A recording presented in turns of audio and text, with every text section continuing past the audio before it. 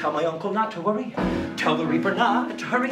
Make the hangman stop his drumming, cause I'm coming into town to win the day. Somehow I have it with my scheming, screwed things up beyond redeeming, and we're finally on our way. And no, this isn't over. Hell is just begun. Hail the resurrection of the South's least favorite son. It means I've made a vow for better, and two is better than one. It means the journey ahead might get shorter. I might reach the end of my rope, cause suddenly loud as the mortar, there is hope.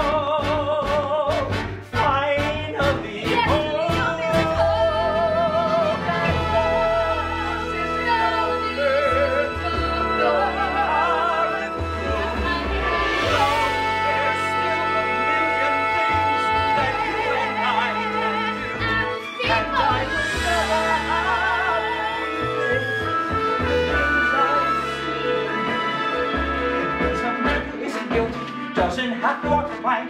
It means the gallows still are vacant, and we've done my wife to thank. It means you shouldn't underestimate Lucille and Frank.